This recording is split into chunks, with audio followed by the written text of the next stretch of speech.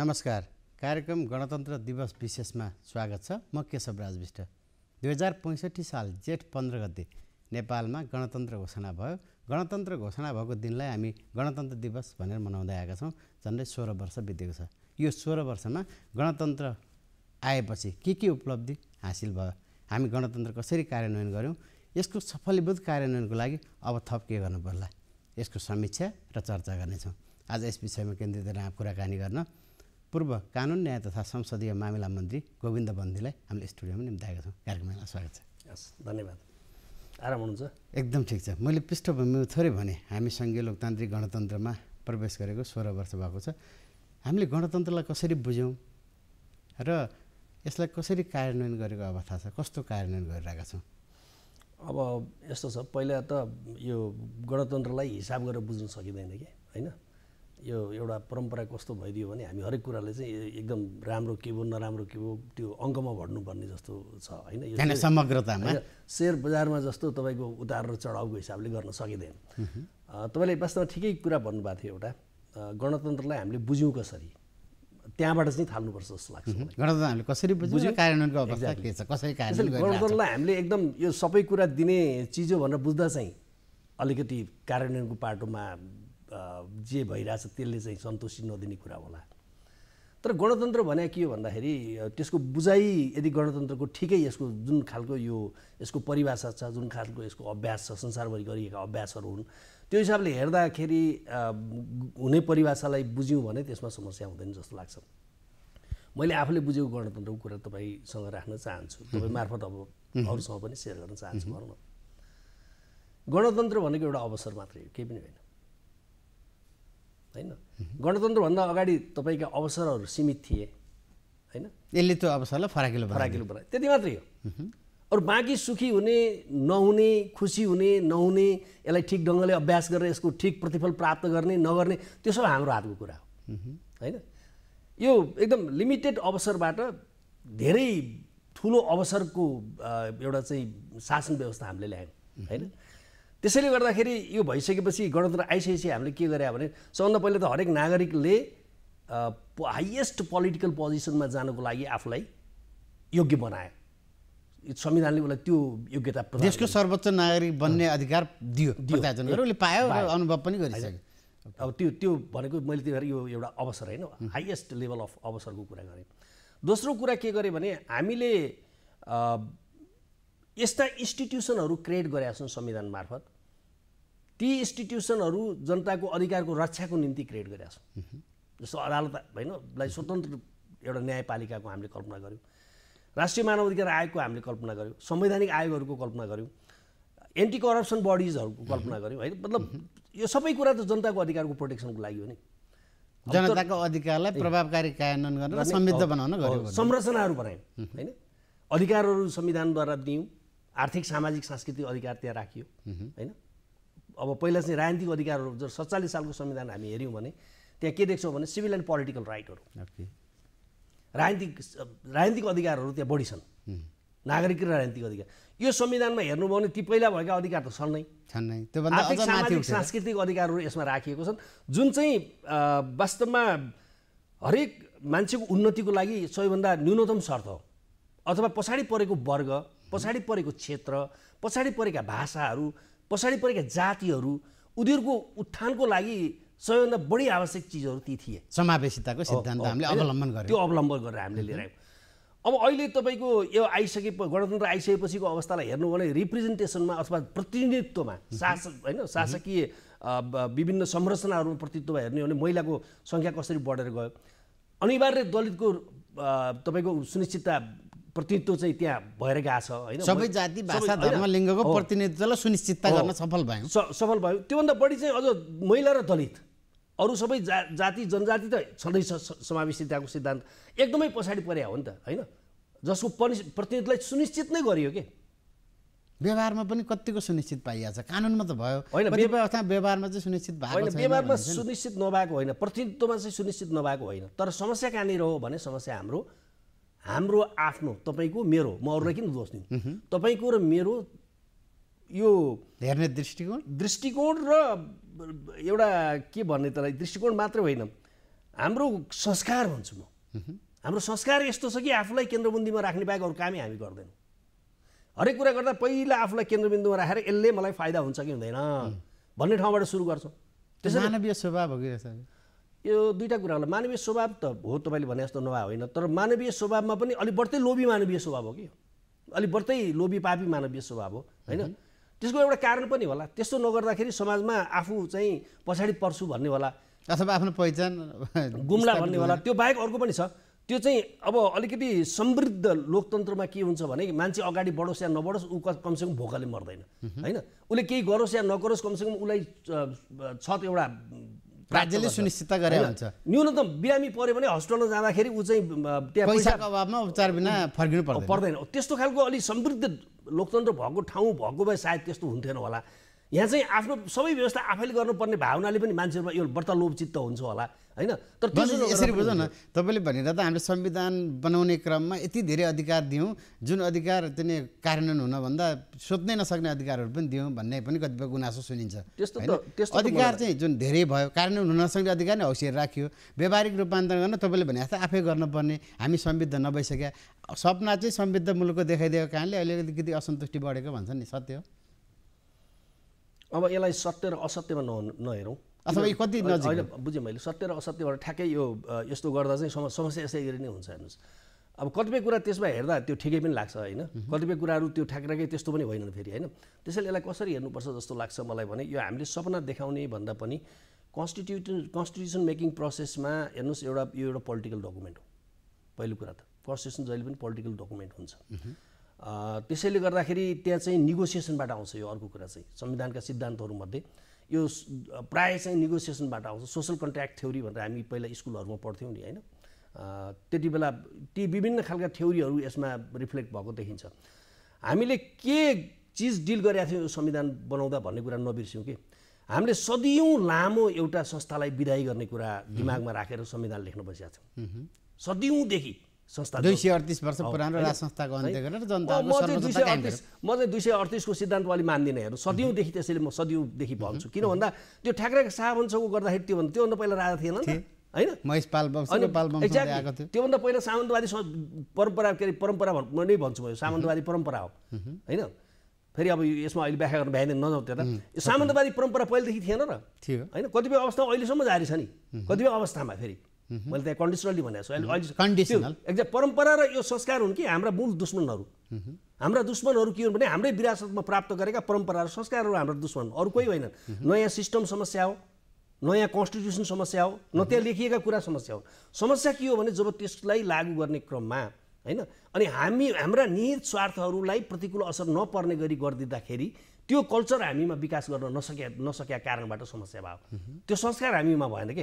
राज्यमा तपाईँले एकचोटि तपाईँलाई यो जिम्मेवारीमा आज बस्नु भएको छ त्यहाँ गएपछि मलाई मलाई आज यो जिम्मेवारी मिलाएको छ त्यस कारणले मैले यो जिम्मेवारी पुरा गर्न मेरो सबै लगाउनुपर्छ है।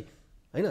यो यो त्यत्तिकै तपाईँलाई यो जिम्मेवारी मिल्या होइन कि? तपाईँको अधिकार चाहिँ खोज्ने कर्तव्य चाहिँ पुरा गर्नेतिर गइएन। जो जो जहाँ जिम्मेवार छ तपाईँलाई त्यो जिम्मेवारी प्राप्त हुनुको पछाडि धेरै कारणहरू तपाईँ योग्यता क्षमता मात्रै नहुन पनि सक्छ।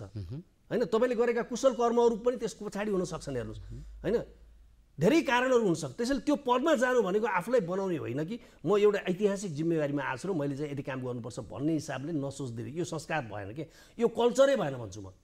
त्यसैले यो नेपालमा हामीले यो कल्चर कसरी परिवर्तन गर्ने हो? यहाँ कुनै व्यवस्था चेन्ज गरेकै कारणबाट चेन्ज हुँदैन। देख्यौँ नि हामीले हुँदैन। जबसम्म हामी हाम्रो संस्कारलाई परिवर्तन गर्दैनौँ होइन?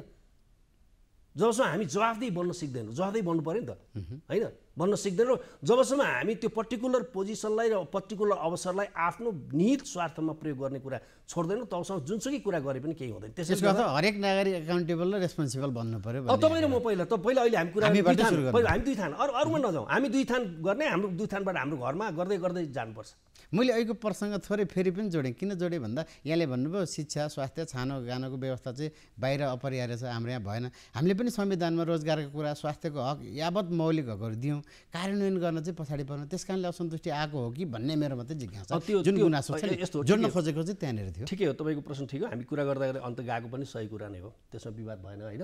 खालि मैले के मात्र निवेदन गर्न खोजेँ भने त्यहाँ लेखा बेठिक अथवा त्यहाँ बढी लेख्या भन्नै भन्ने- मिलेन। भन्ने होइन। तर त्यो दिनेतिर हामी दिनेतिर जहिले पनि त्यसो भएर एउटा कुरा के बुझौँ? आर्थिक सामाजिक सांस्कृतिक अधिकार। रूपान्तरण भनौँ होइन होइन। आर्थिक सामाजिक सांस्कृतिक अधिकारहरूको सोर्स के हो भन्दाखेरि international covenant and economic social and cultural right त्यसको आर्टिकलले त्यसको कमन आर्टिकल वान जुन एस्योर गर्यो त्यो हामीले त्यसपछि त्यसपछि आर्टिकल टू छ। त्यसले के भन्छ भन्नुहुन्छ भने त्यसले चाहिँ इट डिपेन्ड्स यसलाई यो एभाइलेबल रिसोर्सेस राज्यसँग उपलब्ध रिसोर्सेस आधारमा आधारमा। यसलाई चाहिँ गर्दै जानुपर्छ भन्छ।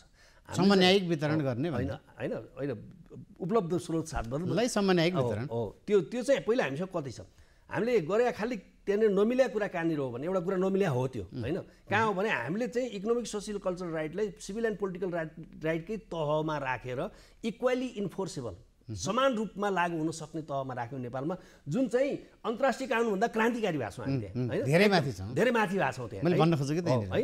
त्यो चाहिँ अन्तर्राष्ट्रिय कारणले चाहिँ त्यसलाई बिस्तारै त्यो अनुसार गर्दै जाने ग्रेजुअली गर्छ। तर हामीले राख्यौँ राखिसक्यौँ राखिएकोमा अन्यथा मान्नु परेन। राम्रै भएको छ त। ओके अब बरु यसको के हुनु पर्थ्यो? हामीले गर्न चाहिँ के पर्ने हो भने यो अधिकारहरू हामी कार्यान्वयनको पन्ध्र वर्ष दस वर्ष वा बिस वर्ष कति हो त्यो प्लान लाग्ने एउटा सर्ट बनाउने। Term long term mid term त्यो त्यो- प्रोग्राम बनाउनु पऱ्यो। त्यो चाहिँ बनाएर यति वर्षभित्र हामी इम्प्लिमेन्टेसनको यो तहसम्म पुगिसक्छौँ भन्ने बनाएर एउटा व्हाइट पेपर बनाएर त्यो अनुसारको स्टेटको सबै मेकानिजमहरूलाई त्यो दिएर फर्स्ट फाइभ इयरमा हामी यति कुरा गर्छौँ त्योभन्दा बढी गर्न सक् अथवा पाँचवटा जिल्लामा हामी स्वास्थ्य होइन। अथवा यो यसमा यतिमा गर्छौँ। सबभन्दा सबभन्दा पिछडिएको जाति अथवा क्षेत्रबाट सुरु गर्छौँ। भन्ने किसिमको गराएर जानुपर्ने हो। नगरे पनि होइन त्यो गरे पनि छ फेरि। कतिपय अव- अवस्थामा बना पनि छ। तर ठ्याक्कै त्यसरी भएको चाहिँ देखिन्न होइन? त्यसले गर्दाखेरि त्यो अब हामीले यसलाई यहीँको कन्टेक्समा लागु गर्ने हिसाबले सोच्नुपर्छ भन्ने लाग्छ मलाई। त्यही त कतिपयले भन्छन् एउटा राजा फालेर धेरै राजा बनाउने व्यवस्था भयो भन्ने आम गुनासो कता कता चाहिँ नि संविधानमा रिभिजिट गर्नुपर्छ अथवा संशोधनको कुराहरू पनि बनेदेखि नै उठिरहेछ यहाँ एउटा अन्तर्राष्ट्रिय राष्ट्रिय कानुनको ज्ञाताको हिसाबले हेर्दाखेरि के देख्नुहुन्छ? संविधान संशोधन गर्न केही जरुरी देख्नु भएको छ अहिले? अब भर्खरै हाम्रो नेपाल बार एसोसिएसनको राष्ट्रिय सम्मेलन हामीले सकेका छौँ अघिल्लो हप्ता होइन? त्यो राष्ट्रिय सम्मेलनमा पनि व्यापक रूपमा यो कुरा उठ्यो है। हामी चाहिँ अहिले के भनेको छौँ भने एकचोटि यसको रिभ्यू गरौँ भन्ने ठाउँमा पुगेका छौँ। रिभ्यू चाहिँ भनेको अब डिस्कस चाहिँ गर्न थालौँ नि त। सुरु गरौँ। डिस्कस गर्न थाहा बेलै संविधान संशोधनमा पुगिसक्यो भन्ने मलाई लाग्दैन त्यहाँ होइन। तर संविधान एउटा लिभिङ डकुमेन्ट हो यो वास्तवमा संशोधन हुनसक्छ।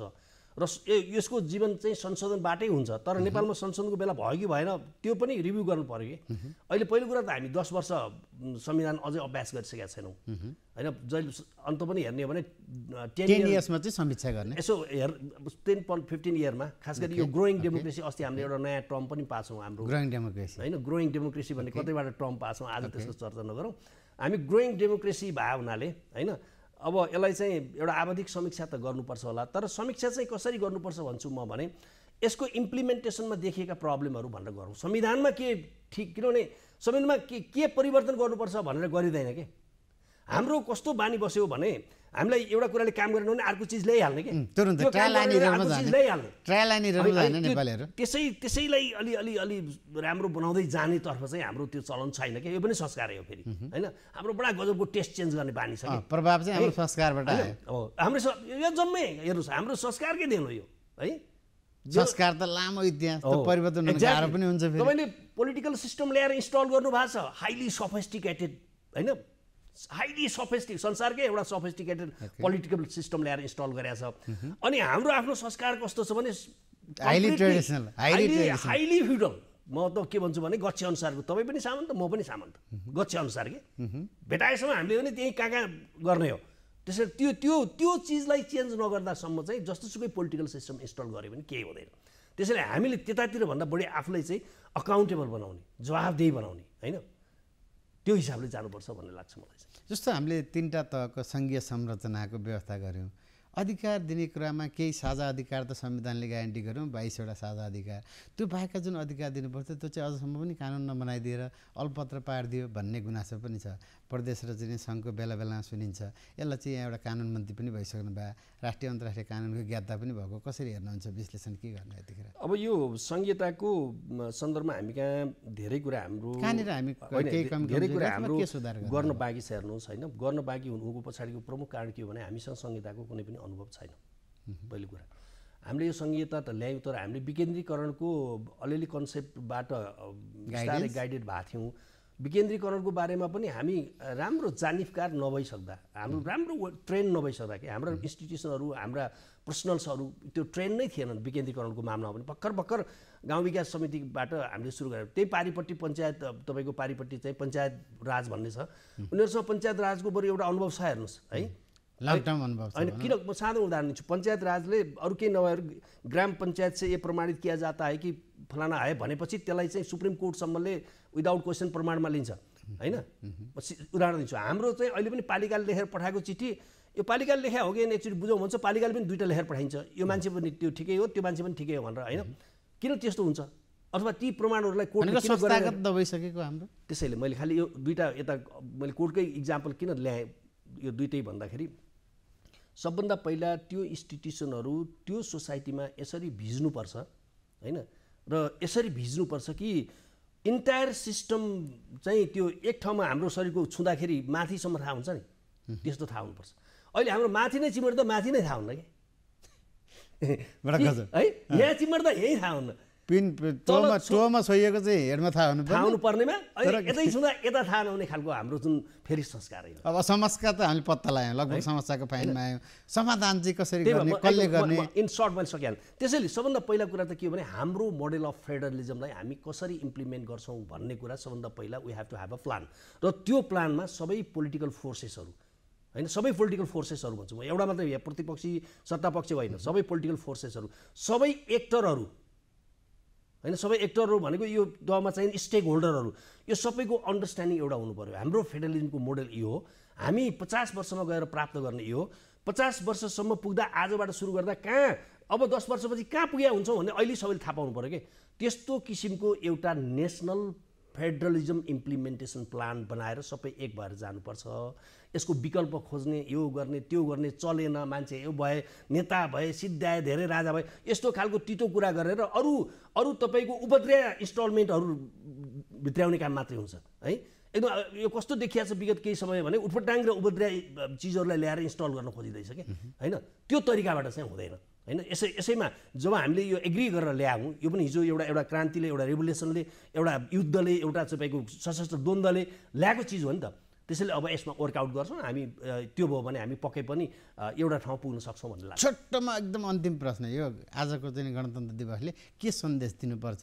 र मैले सोध्न छुटेको यहाँले भन्नै पर्ने केही छ नि यो चाहिँ? आजको गणतन्त्र दिवसमा हामी सबैले सन्देश दिने भन्ने सबैले एउटा कामना गरौँ एटलिस्ट हामी देशको लागि राज्यको लागि चाहिँ के गरौँ हो। होइन यो पैसै मात्र कमाएर होइन ऊ मात्रै गरेर सधैँ तपाईँको चाहिँ पोजिसनमा मात्र रहेर केही हुँदैन। आउने सन्ततिहरू आजभन्दा हाम्रो कमसेकम तिन पुस्ताले चाहिँ मेरो फलानु मान्छेले चाहिँ मेरो पुस्ताले यो देश बिगारेछ भनेर गाली गर्ने ठाउँमा नपुर्याउँ। उनीहरूले गर्वै गरून् कि हाम्रा पुस्ता हाम्रो पुस्तामा हामी गर्व गर्छौँ। हामी पुस्ता भइसक्दा तिनले गर्व गर्ने ठाउँ बनाइदिउँ। यही मेरो मेरो चाहिँ यही सबैलाई अनुरोध हो। हस् यहाँलाई धेरै धेरै धन्यवाद। आदरणीय दर्शकवृन्द कार्यक्रम गणतन्त्र दिवस विशेषमा आज हामीले पूर्व कानुन न्याय तथा संसदीय मामिला मन्त्री गोविन्द बन्दीसँग यो गणतन्त्रको कार्यान्वयन प्रभावकारी र संस्थागत विकासका लागि र संविधानको प्रभावकारी कार्यान्वयनको लागि के गर्नु पर्ला भनेर चर्चा र छलफल गऱ्यौँ। उहाँले दिएको सुझाव सल्लाह अनुसार नै योजनाबद्ध रूपमा कति वर्षमा हामी के गर्छौँ भन्ने योजना बनाएर हामी अगाडि बढ्यौँ र सबै प्रतिबद्ध र इमान्दार भयौँ भने यो देशको विकास र समृद्ध बन्ने कुरामा कुनै दुविधा छैन। यही मार्गमा हामी सबै लाग्ने प्रेरणा मिलोस् भन्ने गणतन्त्र दिवसको शुभकामना व्यक्त गर्दै कार्यक्रम गणतन्त्र दिवस विशेषबाट बिदा चाहन्छौँ। हामी सबैलाई बिदा दिनुहोस्। नमस्कार।